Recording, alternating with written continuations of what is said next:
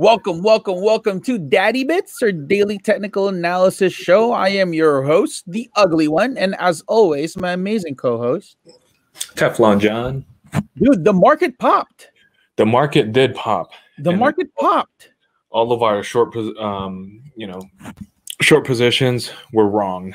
Yeah, all of our yeah, we were extremely wrong. Again, yeah. what you guys get in this channel is transparency. So when we're wrong, we tell you when we're wrong. We're not going to tell you. We're not going to divert and say, you know what, this could have happened. Oh, you know what, this nope, nope. Plain and simple, we were wrong. So I hope again that was not financial advice, and I hope that you guys didn't follow our plays because clearly we were wrong. We'll only follow the right ones.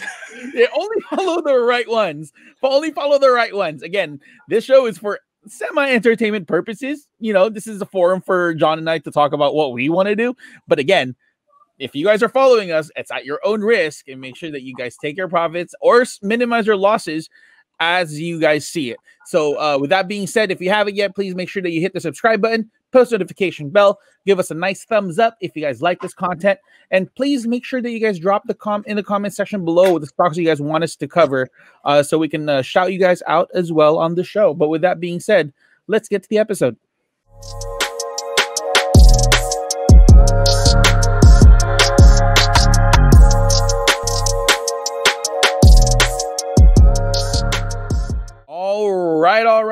Let's take a quick look at the NASDAQ, the QQQ. John, why did it run so much today?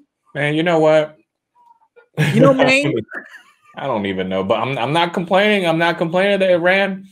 Um, so th- we were trying to position uh, shorts, you know, yesterday for today, right? And obviously mm-hmm. everything gapped up, everything ran.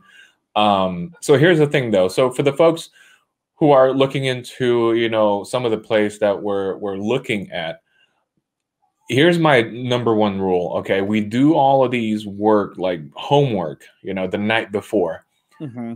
the following day is not guaranteed whatsoever nope. a lot it of things not. can happen you know china can declare war i don't know mm-hmm. like russia can keep spying on us a lot of things can can happen right overnight but it's how you prepare is what's key right? So today I, I placed no trades today, uh, obviously because you know the, the top three trades that I wanted to play didn't pan out. Okay, mm-hmm. but at least if it did, oh heck yeah, dude, short all the way. But oh, it yeah. did so I, I, didn't have to force any trades at all. So really, losing zero dollars is better than losing actual dollars. Right? Exactly. Exactly. So, I mean, you guys can blame us. I mean, like I said, you know, I would love to be wrong, which I was. Thank God, because I would love to. I would love the market to run. It's not ready to dip yet because obviously mm-hmm. today it gapped up and it, it, it, closed pretty strong too. Um, there was so no there was gap gap up and no fill. Yeah, gap up with no fill, which is kind of scary because the come down is going to be a tough one to swallow. Um, so we saw QQQ uh, today. It, it, actually closed at you know the highest point of the day. Well, not really. Almost it almost did, um, but it's somewhat uh, hammered towards the end of the day. So mm-hmm. what we're seeing right now for today's candle is like a, a hammer, a bull hammer. Not really, but really that gap in between is what scares me because there's gaps from what from Friday, last Friday, no, last Thursday. I'm sorry and the market's been market ran for what how many days now? A oh, week yeah. and a half now? Yeah. It's like the entire two months was such a waste. It, this it, right here? know, this yeah. right here? These this entire two months was fully recovered within a week. This are you, are you talking about are you talking about this right here? Such a waste. Look at that. That right there? We're, we're back at all-time highs again. That right there? Yeah one more percent, which I think we will hit uh, by tomorrow because uh, you know futures right now are are looking decent, but really, what a waste of two it months. Was. It was a waste Seriously. Of two months. It was a waste of two months. That's but in order for us, in order for us to get to higher highs, we needed this right here. That's true. That's it true. is a necessary evil, though. It is a necessary evil, and again, we we have to let the bears get their get their way too. You know, sometimes we turn into a bear. Yesterday was a very bearish day. Like for us, it was a very yeah. bearish episode. Yeah. Um, yeah. but let's take a look at the futures real quick. for Nasdaq. That, that now that you mention it, ah, That looks like it's ready to hammer again. it is pretty. It looks like we're gonna gap up again tomorrow. It that's that's the key word. It looks like Yeah, it's setting up again. I'm gonna have to roll my shorts. I'm rolling my shorts. John hates it when I say I'm about to roll. something. I I I roll a lot of things, and rolling options is not one of them. you, were talk- you were talking about uh, uh, a come down from the gap up earlier. You know what that reminded me? That reminded me of like like early 2005 when you leave the club and the come down is really real. Oh man, those trips. Don't you just, don't you just love those? Yeah, they, they they last for like the next 48 hours. Oh man, oh my god, the come downs are definitely real. Let's take a look at the spy real quick. Um El Spio Yeah, it looks exactly the same exact. looks exactly the same. And actually, to be honest with you guys, I shorted Spy today. Yeah. But who knows? I mean, uh, dude, a lot of things can happen overnight. So de- yeah, definitely a lot of things can happen overnight. I I am still short on Spy. They do expire tomorrow, so I will let go of the position no matter what. yeah, If you know, if I see some profit, I'll take it. But if I don't, I'll probably let them expire. yeah. Short Yeah. nibble position. I just wanted to taste. Dude, look look at spy. Look at that gap from what is that? 401 to 403. Right here. Right, Right? here. Yeah. Dude, that's, Hasn't been filled yet. that's gonna be filled by probably like next week or something. Oh, so so now you're telling me to roll my calls then. you're not you're now telling me to roll my puts. Like I said, I roll a lot of things, not options. but with the market running like this, you can't help but be very optimistic about your uh, longer conviction plays. Right, your stronger conviction plays. It's hard to not get excited about that. And the first one that we want to talk about is Apple. Apple has been seeing a, a pretty solid run in the past Week. in this whole week. Yeah. This whole week. Yep. And then uh, shout out to Matt because Matt's Matt rode this one. I'm not sure if he's still in there, but that that is a beautiful, beautiful, beautiful candle. Yeah. No, we And- don't have. look at that crossover. The, oh yeah, the this the yeah nine? right here. crossing the nine, crossing the 50, and then the 20 is about to cross the, the 50. That's a Oh, strong dude. move. Yeah, Strong that's a very right strong there. move. Yeah. we're we're gonna test the the next level of resistance. We're probably testing is right here, 135. If you look at um uh come down a little bit lower, there's a gap right there. So there's a gap for 132. Where the initial drop happened um, Right here. left. Right here, yeah, yeah, yeah, I see that. From if you know um Right here? Yeah, right there. 132. Right here. Yep. 132 and 131 something. Mm-hmm. 132. Yeah, yeah, yeah. Yeah, I- I'll I'll I'll ride uh, Apple up until 132, 133. So to, Yeah. to fill the gap. But Apple doesn't look like it's going to come down. I mean, Mm-mm. buy the dip on Apple, really. Oh yeah, for sure. If you guys see uh intraday dip tomorrow, um, I would definitely take a take a stab at it. Uh, Yeah. let's take a look at after hours because it was kind of running still after hours. It, yeah, it did. Yeah, and so it closed on a hammer. That's number one, and on top of that, uh, it, it ran after hours, not by much, but still. Mm-hmm. So we are going to expect a gap up for Yeah. Apple tomorrow. So who knows? It might run two, three points and fill that gap.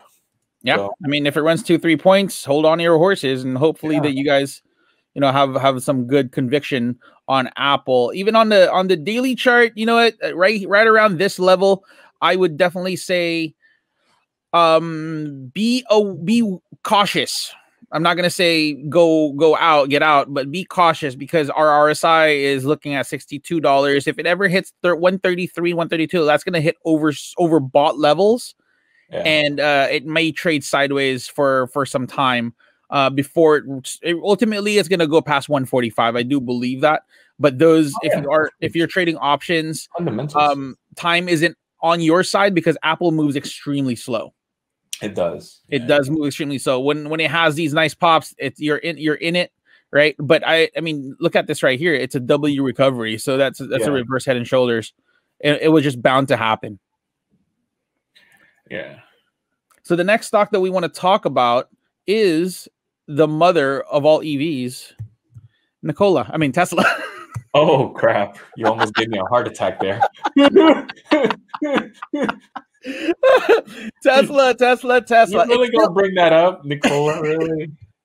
the wedge is still alive. The wedge. That the, the wedge is beautiful. Yeah, thank. God we, we drew this one, so we have something to follow through on this one. So, if it does follow the wedge, okay. Worst case scenario, we might see 640 again. Who knows? Maybe next week. Um, but we are going to follow this wedge up until it breaks. So if it Mhm. breaks 700, 705 tomorrow, man. Yeah. Man. Yeah. The wedge isn't. The wedge isn't dead if it breaks out of the wedge. Oh, right? It just yeah, means it. that we're in a different range, and this Uh-huh. wedge is no longer a, a viable, uh, an, a technical uh, indicator. Now we have to draw a different pattern because this wedge right here is this is a falling wedge, and if this ever breaks, I think we're in it. Yeah. Plus, it's also setting up for uh, you know a reverse or inverse uh, head and shoulders as well. Yeah, right there, A right W, there. Yeah, a W, W shape. recovery. Yeah. Yeah. That's that's that's coming up soon. Uh after hours wasn't that great though. I mean, it's holding to the levels that it closed at. Uh I think I think we could see some gap up, but this wedge is telling me that we have some more sideways action before Yeah. we actually see anything else. I mean, expect it to, I mean, the worst case scenario, it hits the 649 level and it could go either up or down. Um, but with with tech running, I do feel that we can go up now. Is this it, John? Is this it, Chief? Man, I don't want to jinx it, man. every know, time I stop say saying this it- Yeah, every time I say this is it, Chief, like, bam, margin call. Dang, margin call. J Pow couldn't even save us. Yeah. J Pow doesn't save nobody. The next stock we want to talk about um is uh, a fan favorite, a favorite of our, all of us, a Discord favorite. But before we do that, make sure that you guys hit the subscribe button, post notification bell, give us a nice thumbs up, um, and make sure that you guys drop your stocks in the comment section down below. But with that being said, let's get into our last stock of the day, which is the almighty Palantir. PLTR, talking about speaking of wedges, PLTR broke our wedge. It's about to break our wedge even further. Man, Palantir hasn't really done much. Well, it's about to do something. Look at that. Yeah, I'm kind of disappointed with this guy. Ah, I would not be disappointed with this guy. but look at this right here. This this tells me that we have some some nice movement to the upside here, and we're still testing. Um, 2376 is the Uh-huh. resistance, 2374, 2370. Yep. Somewhere around there. That's resistance. Um, and this hammer right here is giving me uh, some semblance of hope. Um, it did get a hold rating from uh, from an analyst.